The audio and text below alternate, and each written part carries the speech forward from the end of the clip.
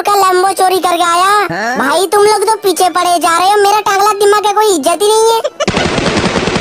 ओए ओए टांगला दिमाग तेरा पूरा लैम्बो ही चोरी करके ला गया वो भी तीन करोड़ का।